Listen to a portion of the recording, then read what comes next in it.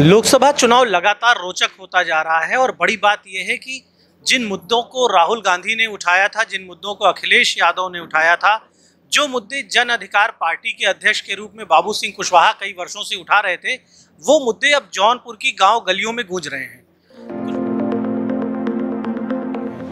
कुशवाहा जी, यहाँ पर पीडीए का जो फॉर्मूला है, पीडीए के लोग कितना एकजुट होते हुए दिखाई पड़ रहे हैं पीडीए का समीकरण तो बहुत बड़ा है पीडीए में बड़ी पॉपुलेशन कवर हो जाती है। तो आप क्या देख पा रहे हैं कि पीडीए वाकई में एकजुट हो रहा है? ए, बहुत बहुत धन्यवाद मिश्रा जी। मैं आपको बताऊँ कि जौनपुर बहुत पढ़े लिखे लोगों का ज़िला है बहुत समझदार लोग हैं। और जौनपुर अकेला ज़िला है कि पीडीए का फार्मूला यहाँ शत प्रतिशत कारगर है। सब पीडीए के तहत आपको सब जगह लोग नज़र आएँगे। और पूरे लोग पीडीए के तहत सब लोग एक साथ होकर के इंडिया अलायंस को इंडिया गठबंधन समाजवादी पार्टी के प्रत्याशी को वो जिताएँ।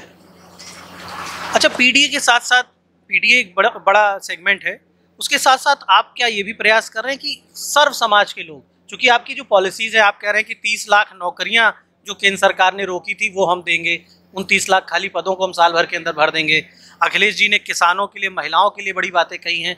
तो किसान महिलाएँ ये तो सर्व समाज के लोग हैं।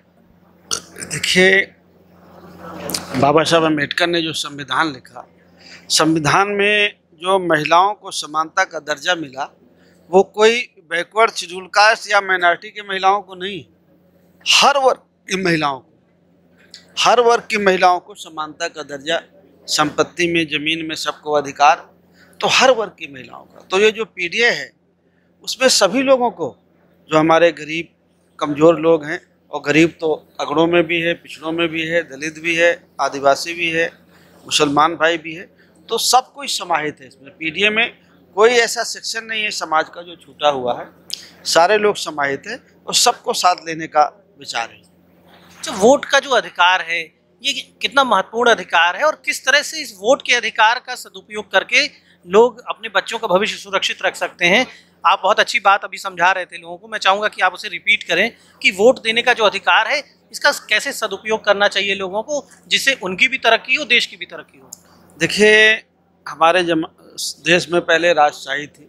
राजा का बेटा राजा होता था। जब हमारे देश के महापुरुषों ने, हमारा देश आज़ाद हुआ, लोकतंत्र हुआ तो उसके पीछे एक ही वजह थी कि इस देश के जो गरीब और कमज़ोर लोग हैं, वो अपनी मर्ज़ी की सरकार बनाएँ, अपनी मर्ज़ी का राजा चुने ताकि जो उनके लिए काम कर सके और ज़िंदगी भर के लिए ना हो। पाँच साल के लिए हो, जो उनके लिए काम करे। लोग पाँच साल बाद जब उनके बीच में आए तो उसे दोबारा जिताएँ। अगर वो काम ना करे तो उसको वो वापस भेज दें। तो वोट का अधिकार इतना बड़ा अधिकार है कि अगर हम सही प्रयोग करें तो हम अपनी सारी समस्याओं का समाधान कर सकते हैं। बाबा साहब अंबेडकर ने कहा कि वोट ये वो तलवार है कि अगर हम इसका सही इस्तेमाल करेंगे तो दुश्मन का गला काटेंगे और अगर गलत इस्तेमाल करेंगे तो हम अपना गला काटेंगे। गला काटने का मतलब ये नहीं कि तलवार से काटेंगे, हम अपने हक अधिकार ले लेंगे। जो हमारा हक अधिकार मारता है, वो नहीं मार पाएगा। चौधरी चरण सिंह हमारे देश के प्रधानमंत्री थे। वो वोट के लिए किसान भाइयों से अक्सर एक बात कहते थे, वो किसान नेता थे। तो कहते थे जब किसानों के बीच में जाते थे कि अरे मेरे किसान भाइयों, आपकी एक आँख खेत में हो तो एक आँख विधानसभा और लोकसभा में हो क्योंकि आपके हित का कानून विधानसभा और लोकसभा में बनता है। जो जीत के जाते हैं, वो बनाते हैं। खास सस्ती मिलेगी कि महँगी मिलेगी, इसका फैसला और कहीं नहीं होता। वही करते हैं जो आपके वोट से जीत के जाते हैं। इसलिए आने वाले चुनाव में वोट से सरकार बनती है, राजा बनता है। आपके बच्चों को नौकरी वही देता है जो वोट से जीत के जाता है। खास सस्ती मिलेगी कि महँगी मिलेगी, उसका फैसला वही करता है जो वोट से जीत के जाता है। आपको जो कुछ लोग पाँच किलो अनाज की दुहाई देते हैं, वो वही देते हैं जो आपकी वोट से जीत के जाते हैं। साहब के लिए सड़कें हमारे लिए वही बनाते हैं जो वोट से जीत के जाते हैं। बिजली की समस्या का समाधान वही करते हैं जो वोट से जीत के जाते हैं। स्कूल, कॉलेज हमारे बच्चों के लिए वही खोलते हैं जो हमारी वोट से जीत के जाते हैं। तो जब गरीब का, कमज़ोर का, किसान का बेटा जीत के जाएगा हमारी वोट से, वो गरीब और कमज़ोर और किसान के लिए सोचेगा, और जिसने गरीबी नहीं देखी, बेरोजगारी नहीं देखी, जो बड़े आदमी का बेटा है वो कभी गरीब और कमज़ोर के लिए नहीं सोचेगा। कुशवाहा जी जौनपुर के किसानों से भी आप मिल रहे हैं गाँव गाँव आप जा रहे हैं। जौनपुर के किसानों की क्या दशा आप देख पा रहे हैं? देखिए किसान की समस्या तो जो पूरे देश में है पूरे प्रदेश में है और कमोबेश यहाँ भी है। मैंने बताया ना कि यूरिया की बोरी पहले पचास किलो की होती थी। अब पहले वो कुछ दिन पहले हुई पैंतालीस की अब हो गई है चालीस किलो और रेट भी बढ़ गए किसान की आमदनी जो आठ साल पहले, नौ साल पहले, अगर सौ रुपया होती थी तो आज तीस रुपया, चालीस रुपया रह गई है। आमदनी दो गुना की बात थी, आमदनी सत्तर परसेंट घट गई है, तीस परसेंट बची है आमदनी। किसानों की वो दो दशा महँगाई बड़े पैमाने पर है। डीजल, पेट्रोल बड़े पैमाने पर महँगा हुआ है। जौनपुर की गृहस्थ महिलाओं के लिए क्या कहेंगे? जो घर चलाती हैं और महँगाई की आप चर्चा ही कर रहे हैं, अक्सर महिलाएँ भी, बच्चे उनके कहते हैं कि, मम्मी, कुछ स्वादिष्ट खाना बनाओ। तो महँगाई भी कई बार आड़े आती है। क्या प्लान करना है? बच्चों को क्या अच्छा बनाए? जो बजट में भी हो तो उन गृहस्थ महिलाओं के लिए क्या संदेश है आपका? आप मिशा जी, बहुत गहराई पे जाते हैं। आपको हर चीज़ का नॉलेज है। सबसे ज़्यादा प्रभावित तो हमारी बहनें हैं।